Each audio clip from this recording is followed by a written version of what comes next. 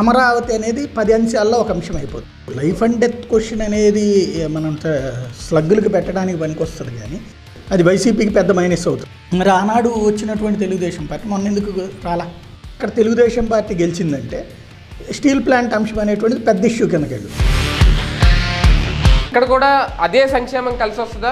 కింద సార్ పదివేలు పసుపు కుంకుమ వేశారు లేకపోతే అన్న క్యాంటీన్లో అన్నం పెట్టారు ఇట్లా కాదు కదా? ఆ జనం లెక్క ఎట్లా ఉంటుందంటే ప్రభుత్వ పథకం అనేది నా హక్కుని ఫీల్ అవుతాడు ఎవడైనా.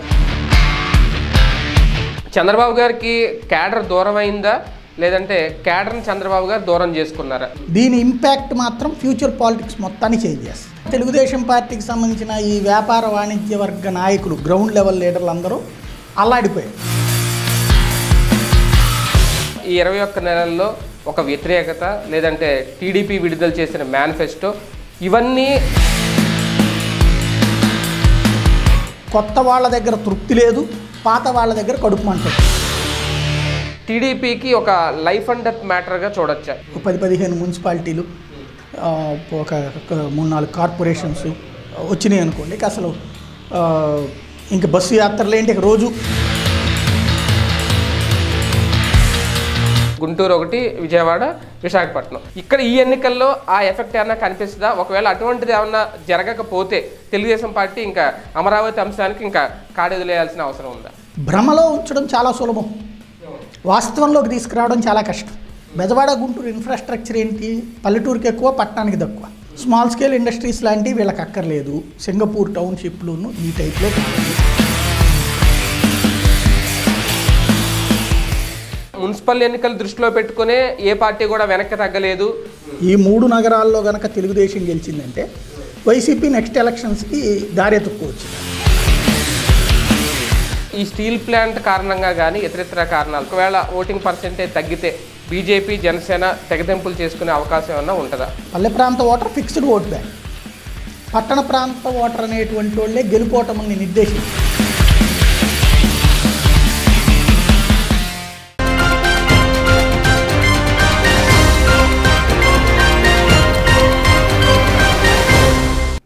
Welcome to weekend with journalist Sai.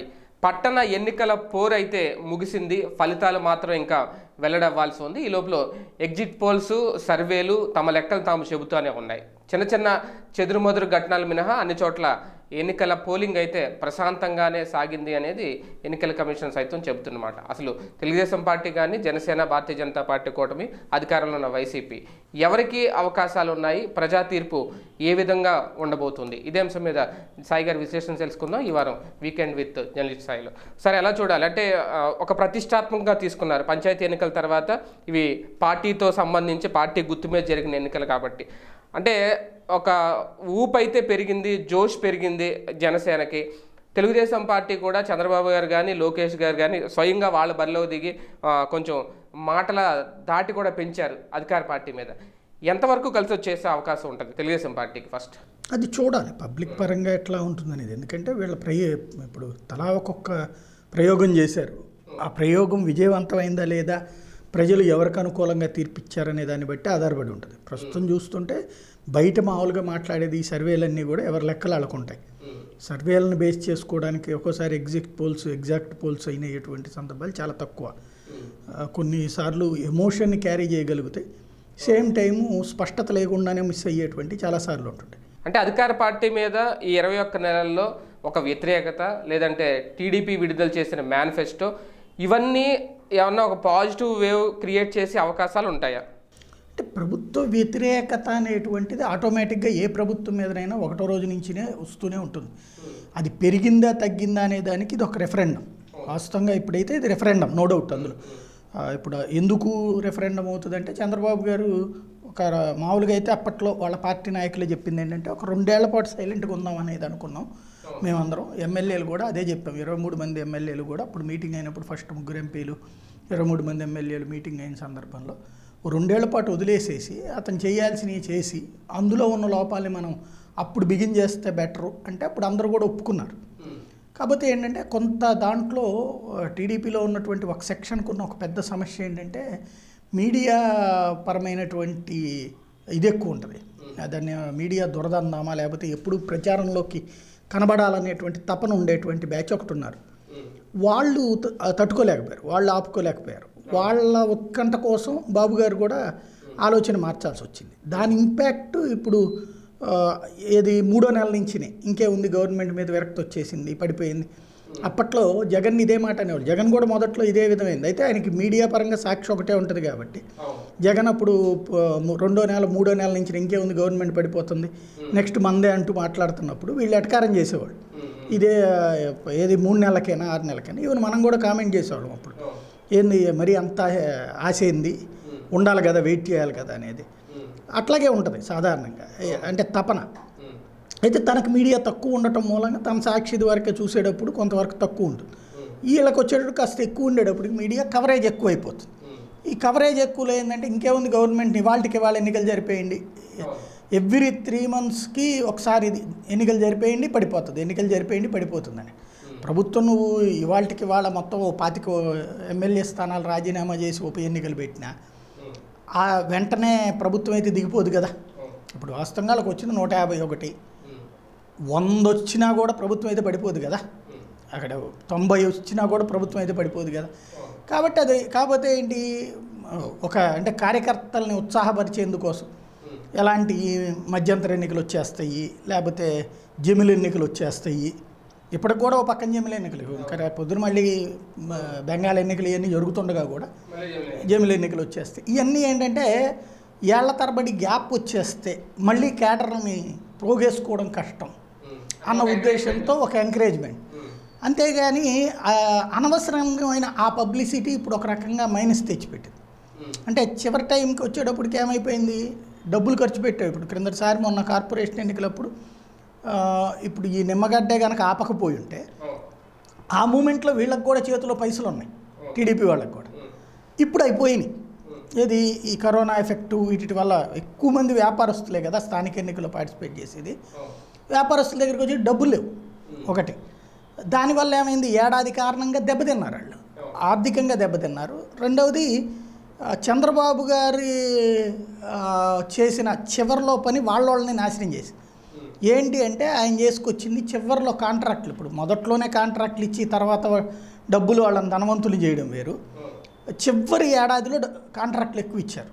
ఈ అమరావతి కాంట్రాక్ట్లు విపరీతంగా తీసుకున్నారు వాళ్ళోళ్ళే మన గ్రామీణ సడక్ యోజన రోడ్ల నిర్మాణం కాంట్రాక్ట్లు వాళ్ళే తీసుకున్నారు. ఉపాధి హామీ పథకం కాంట్రాక్ట్లు వాళ్ళకి ఇచ్చుకున్నారు. విపరీతంగా ఇచ్చారు. దాదాపుగా వందకి తొంభై ఐదు శాతం వాళ్ళోళ్ళే ఐదు శాతం మామూలు కాంట్రాక్టర్లు అయితే ఈవెన్ కాంట్రాక్టర్లు కూడా వీళ్ళ ద్వారా అప్రోచ్ అయ్యినే తీసుకున్నారు. అదేమైంది? వాళ్ళకి ఆ డబ్బులు అప్పుడే ఇచ్చేసి ఉంటే వాళ్ళు ధనవంతులు అయ్యి ఉండేవాళ్ళు చేతిలో తర్వాత ఉండేది. ఈయన మళ్ళీ మనమే వస్తామన్న ఉద్దేశంతో వాళ్ళకి ఎవరికి బిల్లులు క్లియర్ చేయాలి. అంటే ఇక్కడ మనం ప్రాక్టికల్గా మాట్లాడుకోవాలి. బిల్లులు క్లియర్ చేయాలి. బిల్లులు క్లియర్ చేయకపోయేటప్పటికి వాళ్ళ దగ్గర అందరికీ డబ్బులు కనీసం ప పది లక్షల నుంచి కోటి రెండు కోట్ల రూపాయల దాకా పెండింగ్లో ఉన్నారు వాళ్ళంతా. చిన్న చిన్న కాంట్రాక్టర్లు అంటే ఓ రకంగా చిన్న చిన్న నాయకులు వాళ్ళ పార్టీ. స్థానిక నాయకులు. వాళ్ళందరూ ఆ డబ్బులన్నీ ఏం చేశారు? అప్పుడు ఈయన పసుపు కుంకుమ కిందకి కన్వర్ట్ చేసి ఇచ్చారు. ఈ గవర్నమెంట్ వచ్చిన నుండి అవన్నీ పెండింగ్ పెట్టింది? ఎయ్యి ఇవ్వట్ల. అదే కదా పలు దఫాలు. చంద్రబాబు గారు లోకేష్ గారు కూడా మాట్లాడింది. దాని ఇంపాక్ట్ ఏమైపోయింది? చేతిలో పైసలు లేవు. ఉన్న పైసలు లేకుండా వస్తే అక్కడ వాల్యూ ఉండదు. ఏది గబక్కన పది కార్లు పెట్టి అంటే లేకపోతే ఏంటని. దాంతో అందుకని మొహం చాటేశారు. చాలామంది ఏమంటున్నారు? భయపడిను లేకపోతే ఇప్పుడు ఒక మీటింగ్ పెట్టి పది మందిని పోగేయాలంటే పైసలు కావాలా? లేదా ప్రచారం చేయాలంటే పైసలు కావాలా? ఓ పక్కన కరోనా ఎఫెక్ట్ పడ్డారు. బిల్లులు లేవు. కుటుంబ పోషణ. ఇన్నిటి మధ్యన తెలుగుదేశం పార్టీకి సంబంధించిన ఈ వ్యాపార వాణిజ్య వర్గ నాయకులు గ్రౌండ్ లెవెల్ లీడర్లు అందరూ అల్లాడిపోయారు. ఆ ఇంపాక్ట్ పార్టీకి ఇప్పుడు ఫండింగ్ పరమైనటువంటి సమస్య బాగా వచ్చింది. చాలా చోట్ల. అయితే డబ్బులు ఇస్తేనే గెలుస్తారా? ఇప్పుడు క్రిందటిసారి తెలుగుదేశం ఇచ్చిన డబ్బుల కంటే వైసీపీ ఎక్కువేం కాదు కదా మొన్నటి ఎలక్షన్లో. కానీ గెలిచింది. డబ్బులు తీసుకోకుండా ఓటేస్తారా జనం? డబ్బులు ఎవరిచ్చినా తీసుకుంటారు. ఓటైతే తమకు కావాల్సిన వాళ్ళకి వేసారుగా. క్రిందటిసారి పదివేలు పసుపు కుంకుమకి వేశారు లేకపోతే అన్న క్యాంటీన్లో అన్నం పెట్టారు. ఇట్లా కాదు కదా. ఆ జనం లెక్క ఎట్లా ఉంటుందంటే ప్రభుత్వ పథకం అనేది నా హక్కు అని ఫీల్ అవుతాడు ఎవడైనా. అదేదో మనం ఉదారంగా ఇచ్చామనుకోరు. అందుకనినే వైసీపీ ఇప్పుడు అన్ని పథకాలు అన్ని వేలు పెట్టినా కూడా డబ్బులు పోసింది. వెయ్యి పదిహేను వందలు రెండు వేల రూపాయలు ఇచ్చారు. అది నా నా హక్కు అని ఫీల్ అవుతున్నాడు. అక్కడ తేడా వచ్చినా వ్యతిరేకంగా ఓటేస్తాడు. అది చేసి మళ్ళీ ఇక్కడ డబ్బులు ఇవ్వకపోయినా అహం వచ్చింది అనుకుంటారు వీటి మధ్య నలిగింది. కానీ కలబడింది నిలబడింది. గ్రౌండ్ లెవెల్ క్యాడర్ కాడ వదిలేసిన చోట స్వయంగా చంద్రబాబు గారు లోకేష్ గారే ఇన్వాల్వ్ అయ్యి పనిచేసింది. ఆ రిజల్ట్ ఎట్లా ఉంటుంది అనేది రేపు తేలాలి. ఎప్పుడైనా ఉంటుంది. అంటే? ప్రభుత్వం మీద ఇప్పుడు ఒకటి ప్రతి ఏడాది జనవరి కల్లా ఉద్యోగాలు ఇస్తామన్నారు. ఇవ్వట్లేదు కదా? ఇంతవరకు ఆ క్యాలెండర్ అనౌన్స్మెంట్ లేదు కదా? అది నిరుద్యోగుల వ్యతిరేకత అవుదా. రేషన్కి ఇప్పుడు వెహికల్స్ పెట్టారు. కొత్త వాళ్ళ దగ్గర తృప్తి లేదు పాత వాళ్ళ దగ్గర కడుపు దానివల్ల. అదే అనేది. ఈ ఉపాధి లభించినోడు ఫీల్ అవ్వట్లే. ఉమ్, వాడికి ఏముంది ఆ పదిహేను వేలు ఓ ఆటో నేను దోలాల? ప్లస్ కాస్త మొయ్యాల? ఈ టైప్ ఉంది. వీడి దగ్గర నుంచి పాజిటివ్ ఉండేది కొంచెం. ఎందుకంటే ఇవాళ రోజున డబ్బులు వాల్యూ పోయింది అక్కడ. మూడున్నర లక్షలు ఇలా పేరు మీద అప్పు. నెల నెల కట్టుకోవాలి. కష్టపడి సంపాదిద్దామనే వాళ్ళకి మాత్రం హ్యాపీ. కానీ మనకి దేశంలో అయాచిత సొమ్ము కావాలనుకునే లక్షణం ఎక్కువైనప్పుడు. అది పూర్తి తృప్తినిస్తుందా? ఇంకోటి ఏమనిపిస్తుంది నేను కష్టపడితే ఎత్తున్నాడు? ఆడు ఎవడేమన్నా ఫ్రీగా ఎత్తున్నాడా? కదా. అనినే ఉంటుంది. వాడు అనే పదమే వాడుకుంటారు సాధారణ. కాబట్టి అక్కడ అది అది వచ్చే తృప్తి కంటే అది ఈ తీసుకున్న వాళ్ళు అన్ని పార్టీల వాళ్ళు ఉంటారుగా. లేదో పోనీ వైసీపీ వాళ్ళు ఉన్నారు అనుకుంది వాళ్ళు ఇంకా కొత్తగా ఓటర్ కాదుగా. ఉమ్, వేరే పార్టీ వాళ్ళు అయితే మారరు కదా "ఏ, నేను పని చేస్తున్నాను డబ్బులు ఇస్తున్నాడు ఆడు అనుకుంటారు. ప్రభుత్వ ఉద్యోగి ఎప్పుడన్నా నాకు ముఖ్యమంత్రి మంచి పని చేశారు లేకపోతే ప్రధానమంత్రి మంచి పని చేశారని ఫీల్ అవుతాడు. నా డబ్బులు నాకు ఇస్తున్నాడు ఆడు ఏమన్నా ఫ్రీనా అనుకుంటారు. సహజ సిద్ధమైన పదం. కాబట్టి అది ఉండదు. కానీ దానివల్ల నష్టపోయిన రేషన్ డీలర్ ఏమంటాడు? కడుపు మండుతూ ఉంటుంది. అతను పది మందికి చెప్తుంటాడు. ఇవి రెండే కాకుండా ఇంకా కొన్ని రకాలు. ఇప్పుడు ఇసుకది ఇప్పటికీ కూడా సెట్ కానటువంటి పాలసీనే దాంట్లో పదే పదే విఫలమవుతూనే ఉంది. ఆ ఇసుక వ్యాపారికి కడుపు అంటే సేమ్ టైము గ్రౌండ్ లెవెల్లో అది అందని కార్మికుడికి ఉపాధి దెబ్బతింటున్నటువంటి కార్మికుడికి కోపమే. అలాగే సంక్షేమ పథకాలు అందని మధ్యతరగతి వాళ్ళల్లోనూ ఆగ్రహం ఉంటుంది. ఏంది పద్ధతి అనేటువంటి ఆగ్రహం వాళ్ళల్లోనూ ఉంటుంది. ఇవన్నీ ప్రభుత్వ వ్యతిరేకత కదా. ఇంకోటి ఇప్పుడు మొన్న కరోనా టైంలో కొంతమందికి ఉద్యోగాలు ఇచ్చారు. ఇచ్చారన్న సంతృప్తి కంటే అలా తీసేసిన కడుపు మంట ఉంటుంది. ఆరు నెలలు వాళ్ళు ఉద్యోగం ఇచ్చారులే అని అనుకోరు. ఆరు నెలలు అయిపోగానే తీసేశారు. వాడుకున్నాడు వదిలేశాడు. ఉమ్, అనే ఫీలింగ్ ఉంటుంది. అది వ్యతిరేకం ఒకటి ఉంటుంది ఇప్పుడు విశాఖ స్టీల్ ప్లాంట్ ఈ ప్రభుత్వానికి సంబంధం ఉండదా? ముఖ్యమంత్రి ఏం చేశాడు అనే ఫీలింగ్ ఉంటుంది. అది వ్యతిరేకత ఉంటుంది. ఇట్లా ఇంకోటి రోడ్లు లేవు మౌలిక సదుపాయాలు లేవు ఇట్లాంటి కోపము ఉంటుంది. ఇవన్నీ ప్రభుత్వ వ్యతిరేకతలే కదా.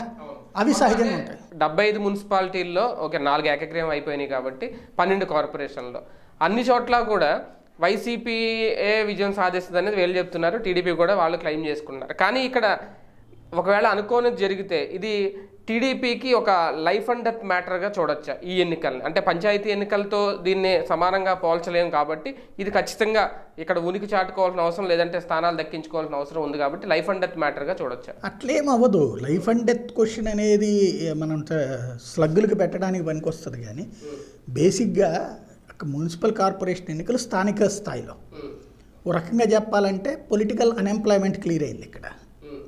ఇది ఉంటే నలుగురితో మన ప్రజాప్రతినిధులు మన వాళ్ళ మధ్యలో ఉన్నారు అనే ఇది ఉంటుంది. అంతేగాని దీని ఇంపాక్ట్ రేపు పొద్దున రెండు వేల ఇరవై నాలుగు. అంటే స్థానికంగా ఏ స్థాయి బలహీనత పెరిగింది తెలుగుదేశం పార్టీకి అనేది ఒకసారి వీళ్ళు అంచనా వేసుకొని భవిష్యత్ ప్రమాదంలో ఉందా లేదా అంచనా వేసుకొని? అసలు దాన్ని దీన్ని కంపేరే చేయలేం. ఇప్పుడు ఆ లెక్కనైతే క్రిందటిసారి వైసీపీ ఏముందని స్థానిక ఎన్నికల్లో? అప్పుడు తెలుగుదేశమే కదా గెలిచింది రెండు వేల పద్దెనిమిదిలో జరిగినటువంటిది పద్నా పదమూడులో జరిగిన ఎన్నికల్లో. తెలుగుదేశమే గెలిచింది అప్పుడు. పంతొమ్మిదిలో అదే పద్దెనిమిదిలో అయితే ఈ క్లోజ్ అయింది పంచాయతీ ఎన్నికలు. అంతకుముందు జరిగిన దాంట్లో వైసీపీ లేదు కదా పదమూడు దాంట్లో వైసీపీ లిమిటెడ్ పాత్ర చాలా లిమిటెడ్ పాత్ర. మరి తర్వాత అధికారంలోకి అప్పుడు అప్పుడు రాలేదంటే రెండు వేల పదమూడు రెండు కలిపి ఒకేసారి కదా వెంట వెంటనే జరిగినటువంటి. ఇప్పుడైతే అట్లా లేదు కదా మరి తెలుగు వైసీపీ ఏం లేకుండానే వచ్చిందిగా. మరి అప్పుడు గెలిచినటువంటి తెలుగుదేశం వాస్తవంగా ఇప్పుడు ఏకగ్రీవాలు తెలుగుదేశం నూట ముప్పై తొమ్మిది ఏమో వచ్చినాయి. జడ్పీటీసీలు ఎంపీటీసీలు వాటిట్లో కూడా. మరి ఆనాడు వచ్చినటువంటి తెలుగుదేశం పార్టీ మొన్న ఎందుకు రాలా? కాబట్టి స్థానిక ఎన్నికల ఇంపాక్ట్ అనేటువంటిది ఇమ్మీడియట్గా ఉంటే వస్తుంది. ఇది చాలా లాంగ్ ఉంది. గ్యాప్ ఉంది ఇంకోటి వీళ్ళకి ఇన్ను దానికి సంబంధం లే. ఉమ్, అయితే ఎక్కడ వీక్ అవుతుందంటే ఈ క్యాడర్ మూడేళ్ళ పాటు నైరాశ్యం ఉంటుంది. అంటే ఇప్పుడు గెలిస్తే. ఇవాళ కనుక తెలుగుదేశం పార్టీ ఒక ఇరవై మున్సిపాలిటీలు కొట్టి ఒక్క మూడు కార్పొరేషన్లు గెలిచిందంటే ఇక అసలు వాళ్ళ జోష్కి అడ్డు అదుపు ఉండదు. పూర్తిగా నెక్స్ట్ ఎలక్షన్స్ దాకా టెంపర్ అట్లాగే రన్ అవుతుంది. గ్యారంటీగా నెక్స్ట్ ట్రిప్కి విన్ ఛాన్సెస్ వచ్చేస్తాయి. అప్పుడు జనసేన అయినా సరే తనకి తానుగా తెలుగుదేశంతో పొత్తు పెట్టుకోవడానికి వెళ్ళొద్ది. ఎందుకు అంటే జగన్ని గద్దె దించాలన్నటువంటి తపనతో వెళ్ళే అవకాశం ఉంటుంది. అదే ఇక్కడ కనుక ఒక ఐదో ఆరో ఓ పది లోపు వచ్చినాయి అనుకోండి మున్సిపాలిటీలు. ఇక్కడ ఒకటో రెండో వచ్చినాయి అనుకోండి. దాని ఇంపాక్ట్ సైకలాజికల్గా ఉంటుంది. ఈ లోపు జనంలో ఆల్టర్నేటివ్ ఐడియా వస్తుంది అప్పుడు అప్పుడు జనసేన డెవలప్ అయ్యి ఇది కనుక ఓ పది పదిహేను శాతం ఓట్లు కొట్టింది అనుకోండి అప్పుడు ప్రత్యామ్నాయం వైపుకి వెళ్ళిపోతుంది జనానికి. అప్పుడు వితౌట్ జనసేన తెలుగుదేశం సర్వైవ్ కాలేదు. ఓన్లీ తెలుగుదేశం పార్టీ ఇంకోటి ఏమైపోద్ది అప్పుడు ఇందులో ఉన్నటువంటి వాళ్ళు ఇప్పుడు చాలా చోట్ల ఏం చేశారు చంద్రబాబు గారు ఒక ఇరవై మూడు మందిని పట్టుకొచ్చారు ఇప్పుడు వైసీపీ వాళ్ళని. ఆ ప్లేసెస్ అన్నీ గందరగోళం అయిపోయినాయి. ఇద్దరిద్దరు కొట్టుకుంటున్నారు. ఒకళ్ళకైతే నెక్స్ట్ ట్రిప్ కూడా ఛాన్స్ ఉండదు కదా. ఆ ఛాన్స్ లేని వాళ్ళు రేపు పొద్దున్న జనసేనకో బీజేపీకో. అవసరమైతే లేకపోతే ఖాళీగా ఉందంటే వైసీపీలోకి పోతారు. ఆ విధంగా వలసలు వస్తాయి. అది చాలా తేడా ఉంటుంది. చంద్రబాబు గారికి క్యాడర్ దూరం అయిందా? లేదంటే క్యాడర్ని చంద్రబాబు గారు దూరం చేసుకున్నారా? ఈ ప్రచారాలను చూసుకుంటే అగ్రనేతలే తప్ప ఇంకా అగ్రనేతలే ఉంది. చంద్రబాబు నాయుడు గారు లోకేష్ గారు మహా అయితే హిందూపురానికి పరిమితంగా బాలకృష్ణ గారు తప్ప ఎక్కడ అంతకుమించి చాలామంది సీనియర్ నేతలు ఉన్నారు. టీడీపీలో మాజీ మంత్రులు ఉన్నారు. ఎవరు బయటకు వచ్చిన పరిస్థితి లేదు.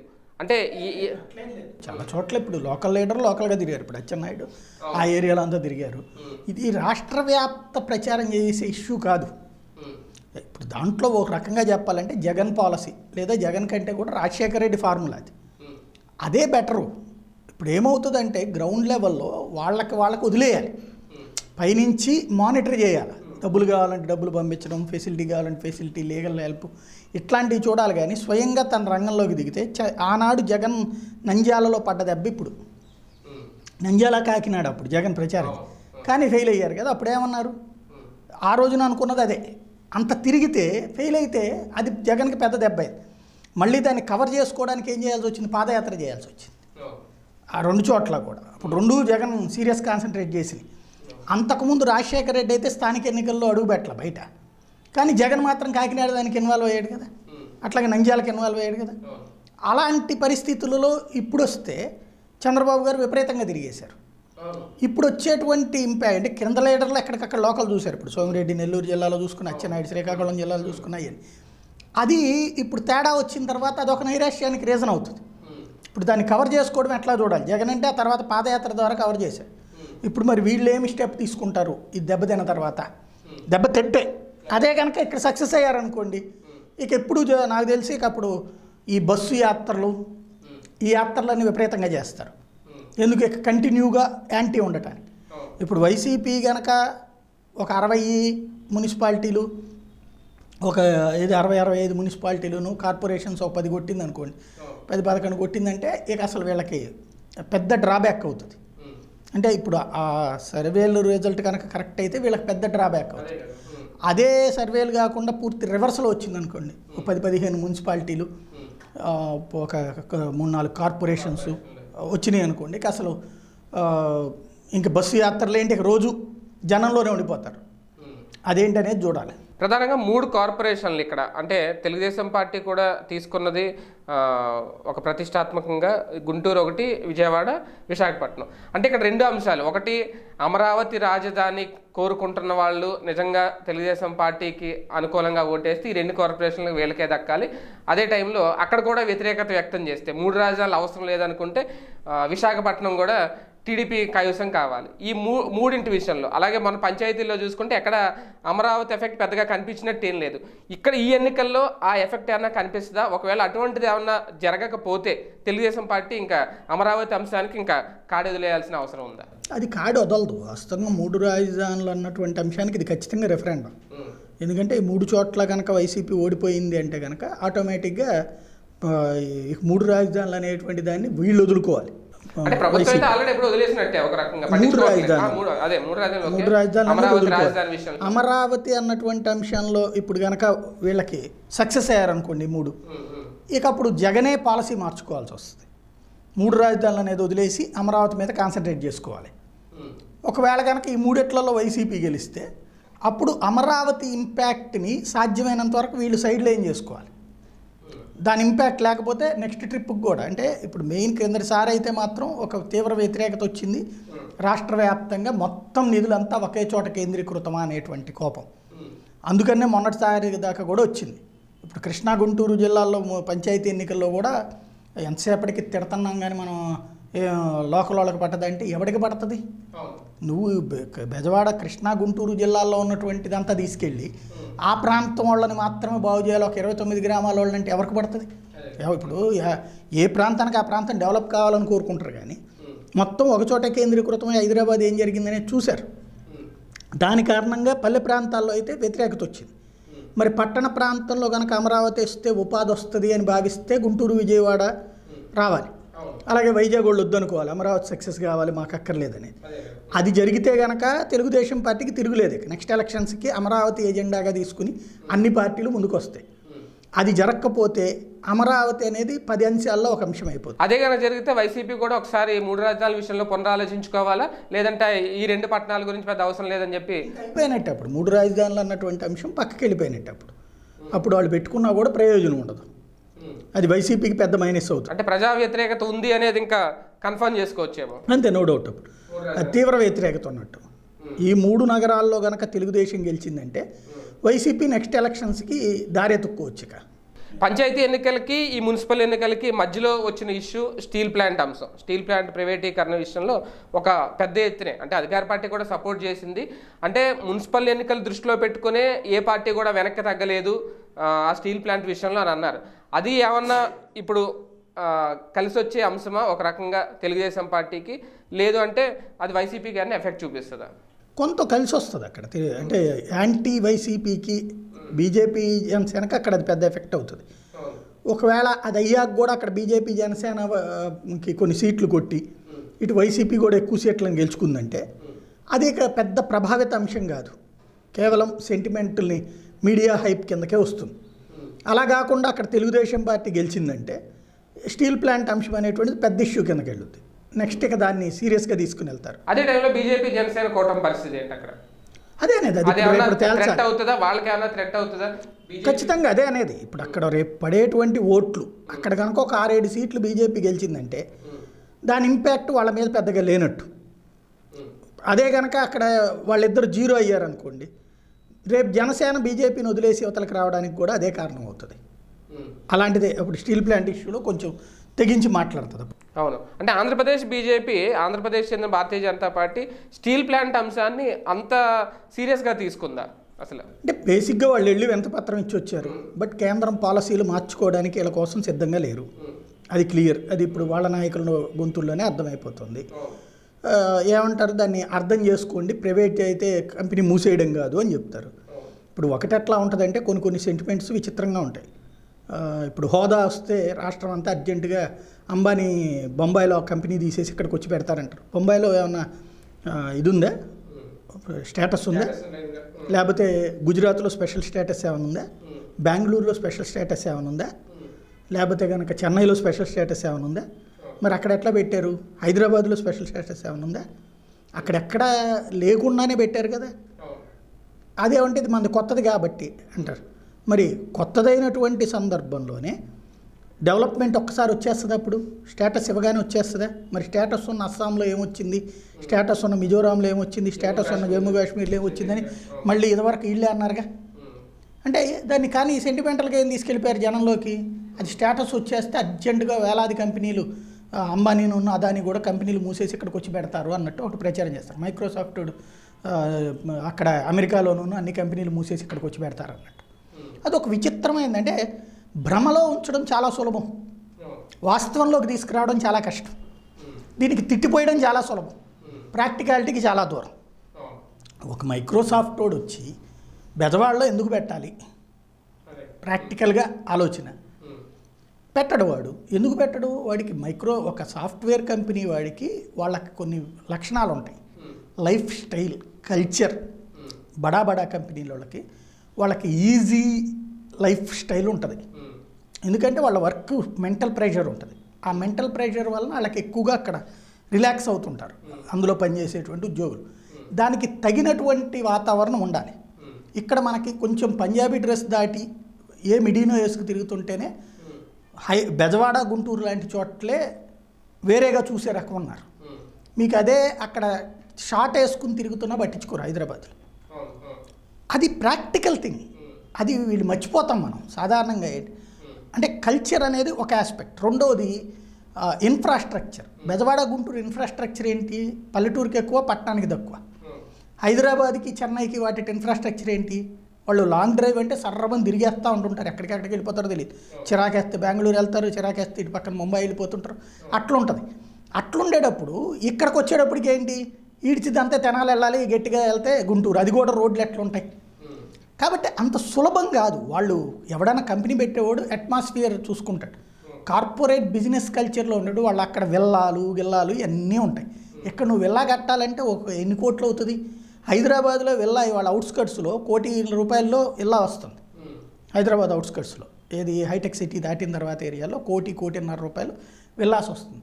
బెజవాడలో వెళ్ళా కట్టాలంటే ఓ మూడు నాలుగు కోట్ల రూపాయలు అవుతుంది. స్థలానికే కోటి రూపాయలు అయిపోద్ది ఇక్కడ. గుంటూరు విజయవాడలో కట్టాలంటే. అవుట్స్కట్స్ తీసుకెళ్ళి ఏ కంకిపాడు అవతల గన్నవరం దగ్గర పెట్టినా అట్లాగే ఉంటుంది ప్లస్ అక్కడి నుంచి ఇక్కడికి రావాలంటే ట్రాఫిక్ విపరీతమైనటువంటిది. అమరావతిలో పెట్టాలంటే ఆల్రెడీ ఇప్పటికే అక్కడ నలభై కోట్ల రూపాయలు అయిందే. అంటే నాలుగు కోట్లు అయితే మినిమం ఉంది కదా. నాలుగు కోట్ల రూపాయలు పెట్టి పన్నెండు వందల గజాల స్థలం తీసుకున్నట్టుంటాడు అందులో కోటి రూపాయలు పెట్టి విల్లా కట్టించేస్తాడా ఎంత అవుతుంది ప్రాక్టికల్గా? విల్లా అంటే పన్నెండు వందల గజాలు అంటే ఐదు విల్లాలు రావాలి. రెండు వందల గజాలు లెక్కన వేసుకుంటే ఒక్కొక్క కన్స్ట్రక్షన్కి వచ్చేటప్పటికి ఒక యాభై లక్షల రూపాయలు అవుతుంది కదా. అంటే అప్పటికి మినిమం ఒక నాలుగైదు కోట్ల రూపాయలు పెట్టతే విల్లా అవుతుంది అక్కడ. ఐదు కోట్ల రూపాయలు పెట్టి విల్లా కొనుక్కుని అక్కడే ఎందుకుంటాడు ఇవన్నీ ప్రాక్టికల్. మనం ఎంతసేపటికి ఏంటంటే ఊహల ప్రపంచంలో జనాల్ని తిప్పుతూ దానికి అనుగుణంగా ఎమోషన్స్ నడుపుతుంటాం. ఇప్పుడు ఇక్కడ విజయ మన కృష్ణ అమరావతి ప్రాంతం డెవలప్ కావాలి అంటే ఫస్ట్ బేసిక్గా మ్యాన్ పవర్ అంటే ఆ ఏరియాలోకి జనాలు ఎక్కువ ఉండేటట్టు చూడాలా. ఒకటి నగరం కిందకి నగరం కిందకి మారాలా. రెండవది మొత్తం ప్రభుత్వ చే భూమిగా ఉండకూడదు. హాస్పిటల్స్ ఎడ్యుకేషన్ ఇన్స్టిట్యూషన్స్ పెద్ద ఎత్తున అక్కడ ఎస్టాబ్లిష్ అయ్యేందుకు సహకరించాలి. దానికి ముందు రోడ్లు వేయాలి. ఎందుకంటే ఆ బుడ్డ రోడ్లో నుంచి వెళ్ళలేరు. అది వెయ్యాలి ఆ ఇవన్నీ ఫ్లైఓవర్లు వేయాలి. డ్రైనేజ్ సిస్టమ్ సెట్ చేయాలి. అవన్నిటికీ అయ్యేటువంటి డబ్బులు ఖర్చు పెట్టాలి. ఆ ఖర్చే మినిమమే లక్ష కోట్ల రూపాయలు అవుతుంది. మ్యాక్సిమం నాలుగు లక్షల కోట్లు తీసేస్తే మినిమం ఓ లక్ష లక్ష పాతిక వేల కోట్లు ఖర్చు అవుతుంది అంత పెడతామా లేదా? దానికి బదులుగా ఏం చేయాలి? ఒక స్మాల్ స్కేల్ ఇండస్ట్రీసు ఇట్లాంటివి డెవలప్ చేయాలి. స్మాల్ స్కేల్ ఇండస్ట్రీస్ లాంటివి వీళ్ళకి అక్కర్లేదు. సింగపూర్ టౌన్షిప్లోను ఈ టైప్లో కావాలి. ఇంకోటి అదంతా ప్రభుత్వం చేతిలోనే ఉంది. యాభై ఐదు వేల ఎకరాలు. ప్రభుత్వం చేతిలో ఉన్నప్పుడు అది ఎలా అలకేట్ చేస్తుంది? ఇవన్నీ ప్రాక్టికల్ ఇష్యూ కదా? ఇప్పుడు మైక్రోసాఫ్ట్ వచ్చి ఇక్కడ పెడతానంటే మన ఏపీ గవర్నమెంట్ ఇవ్వనంటదా? అదాని వచ్చి పెడతానంటే ఇవ్వనంటదా? అదాని ఎక్కడ పెడతానన్నాడు? కృష్ణపట్నం పోర్ట్లో పెడతానన్నాడు? లేకపోతే విశాఖపట్నంలో పెడతానన్నాడు? అంబానీ ఎక్కడ పెడతానంటాడు? విశాఖలో పెడతానంటాడు? లేకపోతే మన దీని దగ్గర పెడతానంటాడు? నెల్లూరు దగ్గర పెడతానంటాడు? ఎందుకు? వాళ్ళకి ట్రాన్స్పోర్టేషన్ అది వాళ్ళ ఈ లెక్క చూసుకుంటారు. ఇక్కడ మనం ప్రాక్టికల్ థింగ్కి విరుద్ధంగా అయ్ మా మా వాడు ఉంటే వస్తుంది. మీ వాడు ఉన్నా మా వాడు ఉన్నా ఇక్కడ వాడి వాడి వదిలేసుకుని రాడు. మన నాయకుల కోసం అంబానీలు అదానీలు మహారాష్ట్రలోని కంపెనీలు తీసేసుకుని ఇక్కడికి రారు. కానీ మనం ఎమోషన్ని రెచ్చగొట్టడానికి బాగా పనికొస్తాయి. ఆ ఇక్కడ ఉంటే కనుక ఎంటర్ అయిపోద్రా అదే మా వాడు ఉంటే కనుక అసలు జార్జ్ బుష్ను ట్రంప్ ఇద్దరు కలిసి చేతులు కట్టుకుని వచ్చి ఇక్కడ నిలబడతారా అనేది ఒక విచిత్రమైనటువంటి ఫోబియాతో ఉంటాం మనం. ఆ ఫోబియా గురించి ప్రశ్నించగానే వేరే వేరేగా మాట్లాడుతుంటాం. ఇక్కడ జరిగేది అది అమరావతిని ప్రాక్టికల్ థింగ్ కాకుండా భ్రమల ప్రపంచంలో ఉంచినంత కాలం దానికి పరిష్కారం ఉండదు. ఆ భ్రమలు ఎవడూ నెరవేర్చలేడు. ఆ నెరవేర్చాలి అంటే ఇక ఆ ఏదైతే ఇంతకుముందు గ్రాఫిక్స్ చూపించారో ఆ గ్రాఫిక్స్లో కనీసం ఓ పాతికి వంతన్నా చెయ్యాలి అంటే ఒకటి ఇక్కడ ఈ రెండు ప్రాంతాల్లో కూడా పబ్లిక్ అది కోరుకోవాలా? రెండవది ఈ ఇంపాక్ట్ ఇక ఆ తర్వాత అంటే ఈ రెండు నగరాల్లో కనుక భారీగా ఫీల్ అవుతూ ఉంటే నెక్స్ట్ ట్రిప్ ఇటు వీళ్ళకి కూడా ఒక సమస్య అవుతుంది. రాయలసీమలో యాభై సీట్లలో యాభై నాలుగు సీట్లు మొత్తం అయితే రావు కదా వైసీపీకి. అప్పుడు ముప్పై ముప్పై ఐదో లెక్కేసుకోవాలి. ఉత్తరాంధ్రలో ఆల్రెడీ తెలుగుదేశం స్ట్రాంగ్గా ఉండే చోట క్రిందటిసారి ఏదో కొట్టారు. ఈ ట్రిప్ అప్పుడు అక్కడ తగ్గుతుంది కదా విశాఖలో కూడా ఓడిపోయింది అనుకోండి అప్పుడు ఆ ప్రాంతం నుంచి కూడా ఓ పదిహేను ఇరవై సీట్లు పోతాయి. కోస్తా జిల్లాల్లో గోదావరి జిల్లాలో జనసేన ఇంపాక్ట్ ఉంటుంది. అప్పుడు దాని వలన ఓ పదిహేను ఇరవై సీట్లు అయితే తేడా వస్తుంది. అప్పుడు కృష్ణా గుంటూరు జిల్లాల్లో కూడా పోయిందంటే కనుక అప్పుడు వైసీపీ పని అయిపోతుంది. కాబట్టి కృష్ణా గుంటూ అంటే గుంటూరు విజయవాడ విశాఖపట్నం ఈ మూడిట్లలో కనుక తెలుగుదేశం గెలిచి వైసీపీ ఓడిందంటే అమరావతిని అర్జెంటుగా ఇప్పుడు చంద్రబాబు గారు కనుక హోదా గురించి మొదట్లో అక్కర్లేదు ప్యాకేజ్ అని చిట్ట చివరి నిమిషంలో ప్యాకేజీ అది హోదా నేనే అసలు అడిగింది అని ఎట్లా గొడవ చేశారో అట్లాగే వీళ్ళు కూడా మాట మార్చచ్చు. అప్పుడు. పంచాయతీ ఎన్నికల్లో ఒక రకంగా జనసేన మంచి విజయాన్నే మూటగట్టుకుంది. కానీ ఇప్పుడు ఈ స్టీల్ ప్లాంట్ కారణంగా కానీ ఇతరితర కారణాలతో ఇప్పటికే గోదావరి జిల్లాల్లోనూ ఉత్తరాంధ్ర విశాఖలో అక్కడక్కడ కొన్ని చోట్ల బలంగా ఉండే అవకాశం ఉందని సర్వేలు చెప్తుంది. జనసేనకు అనుకూలంగా వచ్చే అవకాశం ఉందని. కానీ ఈ ఇష్యూ బేస్ చేసుకొని ఒకవేళ ఓటింగ్ పర్సెంటేజ్ తగ్గితే జనసేనకు అనుకున్న అంచనాలు రీచ్ అవ్వకపోతే. అది ఖచ్చితంగా భారతీయ జనతా పార్టీతో కలిసి ఉన్నందుకే అని చెప్పి బీజేపీ జనసేన తెగదెంపులు చేసుకునే అవకాశం ఏమన్నా ఉంటుందా? ఏముండదు ఎందుకంటే వాస్తవంగా ఇప్పుడు సున్నాతో ఉన్నారు వాళ్ళు. ఇంతకుముందు ఏం లేవు కదా. సున్నా నుంచి వచ్చే ప్రతి ఒక్కటి రూపాయేగా. ఒకటి రెండు మూడు నాలుగు పంచాయతీలో వాళ్ళు ఇండివిజువల్ గెలుపుగానే కదా వాళ్ళు చెప్పుకుంటారు. అదేనేది పంచాయతీలో లెక్కలు వేరుగా ఉంటాయి. చెప్పేది వేరుగా ఉంటుంది ప్రాక్టికాలిటీ వేరుగా ఉంటుంది. పంచాయతీల్లో ఇరవై రెండు శాతం వాళ్ళు వేసుకున్నటువంటి అంచనా. అది ప- పల్లె ప్రాంతాల్లో. అది కూడా ఏంటంటే సామాజిక వర్గం బలంగా ఉన్న ప్రాంతాలు. సామాజిక వర్గ ఓటు వేరు టోటల్ వేరు సామాజిక ఓటు వేరు. ఇప్పుడు అది తేలుతుంది. రియల్ పిక్చర్ ఇప్పుడు. ఇంతకు ముందుది మనం క్లెయిమ్ చేసుకోవడం. తెలుగుదేశానికి నలభై ఒక్క శాతం వచ్చింది. వీళ్ళకి ఇరవై రెండు శాతం వాళ్ళు. సరే వాళ్ళు గెలిచిన ఇంతకుముందు మనం కూడా చెప్పుకున్నాం. వాళ్ళు వాళ్ళు క్లెయిమ్ చేసినటువంటి రైట్ మేబీ అది కరెక్ట్ కూడా అవ్వచ్చును. ఎందుకంటే తెలుగుదేశం అయితే లెక్క చెప్పలేకపోయింది. వీళ్ళు లెక్క చెప్పారు కాబట్టి. అయితే ఆ లెక్క చూసినప్పుడు సామాజిక వర్గం బలంగా ఉన్నటువంటి ప్రాంతాలతో పాటు కొత్తగా ఎస్సీ ఎస్టీ ఏరియాలోకి ఎంటర్ అయింది.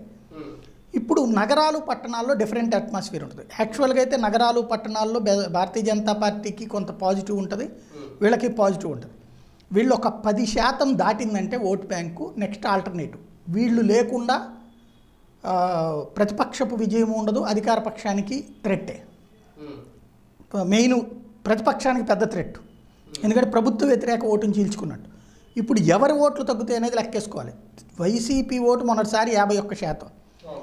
ఇప్పుడు కనుక వైసీపీ ఓటు ఏ నలభై దగ్గర వచ్చి తెలుగుదేశం ఓటు నలభై శాతం అప్పుడు. ఆ నలభై అట్లాగే ఉండి వీళ్ళకి పది వచ్చింది అనుకోండి అది వైసీపీ ఓటు తగ్గినట్టు. అదే గనక వైసీపీ ఓటు నలభై యాభై దగ్గరనే ఉండి తెలుగుదేశం పార్టీ ఓటు పది శాతం తగ్గి వీళ్ళకి పది శాతం వచ్చిందంటే వీళ్ళకి అది వచ్చినట్టు. అలా కాకుండా ఇద్దరిలో నుంచి తగ్గిందనుకోండి ప్రత్యామ్నాయం వైపుకి జనం వెళ్తున్నట్టు. అయితే అది ఎంత పర్సంటేజ్ పట్టణాలలో ఎంత పర్సెంటేజ్ పల్లెల్లో అయితే కనుక ట్వంటీ టూ పర్సెంట్ అనేటువంటిది ప్రొజెక్ట్ అయింది. పట్టణాల్లో ఎంత? ఇది లెక్క. ఈ ఆల్టర్నేటివ్ ఈ వచ్చే ఓటు ఎవరి నుండి చీలుస్తున్నారు అన్న దాని మీద భవిష్యత్ రాజకీయం ఆధారపడి అదే టైంలో ప్రత్యామ్నాయంగా ఎవరిని చూస్తున్నారు? ఎవరిని చూస్తున్నారు అది తెలుగుదేశాన్ని చూస్తున్నారా వీళ్ళని చూస్తున్నారా అనేది. అది ఈ రిజల్ట్లో తేలిపోతుంది. ఫైనల్గా పంచాయతీ ఎన్నికల్లో సంక్షేమమే కలిసి వచ్చింది వైసీపీకి. తొంభై శాతం సంక్షేమం వల్లే ఆ విజయం వచ్చింది అనేది. కానీ ఇక్కడ కూడా అదే సంక్షేమం కలిసి వస్తుందా వైఎస్ఆర్సీపీకి? వేరే అడ్డంకులు ఏమైనా ఎదుర్కోవాల్సిన అవసరం అవసరం ఉంటుందా? సాధారణంగా ఇక్కడ సంక్షేమం అనేది ఒక ఆస్పెక్ట్ అంటే పట్టణాల్లో కూడా చూస్తారా సంక్షేమాన్ని సంక్షేమం ఎందుకు చూడరు? ఎవరైనా కాకపోతే సంక్షేమంతో పాటు డబ్బులు కూడా ఎందుకు ఇచ్చారు? సాధారణంగా ఉట్టి సంక్షేమమే ఓట్లు వేసేటప్పుడు పైసా డబ్బులు ఇవ్వకూడదుగా? సంక్షేమంతో పాటు వీళ్ళు పదిహేను వందల వెయ్యి రెండు వేలు కూడా ఇచ్చుకొచ్చారు. కాబట్టి ఉట్టి సంక్షేమం ఒకటే వర్కౌట్ కాదు. అది ఒక ఆస్పెక్ట్. రెండవది ఏంటంటే ఈ పట్టణాలలో అభివృద్ధి గురించిన కాంక్ష కూడా ఎక్కువ ఉంటుంది. కా మౌలిక వస్తువుల కాంక్ష కూడా ఎక్కువ ఉంటుంది. అవి రెండు ఇక్కడ ఇంపాక్ట్ ఉంటాయి. అందుకనినే మీకు చూడండి పట్టణాల్లో పర్సంటేజ్ ఆఫ్ పోలింగ్లో మరీ దారుణంగా తగ్గింది. బెజవాడలో యా- యాభై యాభై నాలుగు శాతాలు గుంటూరు బెజవాడ ఏలూరు కర్నూలు. యాభై లెక్కేసుకోవాలి సగటు. అంత దారుణంగా తగ్గిందంటే అర్థం ఏంటి? నిరాసక్తత. ఏది ఏ ఎవడికి ఇప్పుడు ఎవరినేసినా మనకేమవుతుంది? అసంతృప్తి. సాధారణంగా పట్టణాల్లో తక్కువగానే ఉంటారు ఓటింగ్ ఇంపాక్ట్. ఎందుకంటే ఈ ప- అందులో ఆంధ్రాలో ఉన్నటువంటి పట్టణాల్లో ఉన్నవాళ్ళు ఉద్యోగాల కోసం ఎక్కడెక్కడో చేస్తున్నారు. కర్ణాటకలోనో హైదరాబాద్లోనో అట్లాగ ఉంటారు వాళ్ళు వెనక్కి వచ్చి ఒకటేలా ఒకటి అట్లాంటి వాళ్ళే ఇరవై ముప్పై శాతం ఉంటారు పట్టణాల్లోనూ నగరాల్లో. తర్వాత అంటే వాళ్ళకి ఇంట్రెస్ట్ లేదు ఈ లోకల్ పోల్స్. అంటే ఇక్కడ ఉన్నటువంటి పార్టీల మీద నమ్మకం కోల్పోయారు వాళ్ళు. ఇంకోటి స్థానిక ఎన్నికలు ఏముందిలే అనేటువంటి నిరాసక్తత కూడా ఉంటుంది. మూడోది వచ్చేటప్పటికి పట్టణాల్లో ఈ సదుపాయాలు లేకపోవడం వల్ల విరక్తి. నాలుగోది వచ్చేటప్పటికి ఏం ఎవడు గెలిస్తే మనకేం ఉరుగుతుందిలే అనేది. ఇవి కనబడుతుంది. అందుకని ఇక్కడ పట్టణ ప్రాంత ఓటర్ నాడి అనేటువంటిది భవిష్యత్తును తేల్చుద్ది. పల్లె ప్రాంత ఓటర్ ఫిక్స్డ్ ఓట్ బ్యాంక్ పట్టణ ప్రాంత ఓటర్ అనేటువంటి వాళ్ళే గెలుపోటముల్ని నిర్దేశించేది. ఓ లెక్కంగా చెప్పాలంటే మైనారిటీ సాలిడ్ ఓట్ బ్యాంక్ ఎట్లాగో ఇది ఒక ఓట్ బ్యాంక్. ఇది డివైడ్ అయ్యిందా ఎవరికి అనే దాని మీద తేలుతుంది. ఇప్పుడు దీని ఇంపాక్ట్ మాత్రం ఫ్యూచర్ పాలిటిక్స్ మొత్తాన్ని చేంజ్ చేస్తుంది. అంటే ఇక్కడ నిరుద్యోగం ఉపాధి మౌలిక వస్తువుల కల్పన ఈ మూడింటి మీదే మున్సిపల్ ఎన్నికలు ఆధారపడి ఉంటాయి అనేది. ఆ విషయంలో గవర్నమెంట్ ఈ ఇరవై ఒక్క నెలలో సక్సెస్ అయిందా? లేదంటే ఉండవు. నిరుద్యోగం అయ్యి ఒక అసంతృప్తి ఉంటుంది అంతే. సాధారణంగా ఏ స్థానిక ఎన్నికలు లోకల్ కార్పొరేటర్ సిచ్యుయేషన్ ఉంటుంది. లోకల్ అభ్యర్థి. ఇంకోటి లోకల్గా ఉండేటువంటి ఎమ్మెల్యేతో అక్కడ ఉండేటువంటి పబ్లిక్ ఉండే ర్యాపు. మౌలిక సదుపాయాలు ఉంటుంది. లోకల్గా రోడ్డు వేయలేదు డ్రైనేజ్ పట్టించుకోలేదు కరెంటు సరిగ్గా ఇవ్వట్లేదు ఇట్లాంటివి ఉంటాయి. స్థానిక సమస్యలు ప్రధానంగా ఉంటాయి. రెండవది పార్టీ అధినేతల మీద ఫీలింగ్స్ జగన్ అభిమానులు జగన్కి బాబు అభిమానులు బాబుకి పవన్ అభిమానులు బాబుకి పవన్కి. అవి కూడా ఇంపాక్ట్ ఉంటాయి. కాబట్టి ఇది ఒక్కసారిగా చేంజింగ్ కాదు. కానీ ఫ్యూచర్ పాలిటిక్స్కి ఇది ఒక నిదర్శనం అవుతుంది. భవిష్యత్తు కార్యాచరణ ఏంటనేది కూడా డిసైడ్ చేసే అవకాశం ఉంటాయి ఇవన్నీ. రైట్ చూద్దాం మొత్తానికి మున్సిపల్ ఎన్నికల ఫలితాల తర్వాత ప్రజలు ఎవరికి పట్టం కడతారు ఏంటనేది తేలిపోద్ది. కానీ ఎవరికి వాళ్ళ ధీమా అయితే వ్యక్తం చేస్తున్నారు వైఎస్ఆర్సీపీ టీడీపీ మరోపక్క జనసేన భారతీయ జనతా పార్టీ. ఏం జరుగుతుంది అనేది వేచి చూడాలి. ఇది వాళ్ళ వీకెండ్ విజన్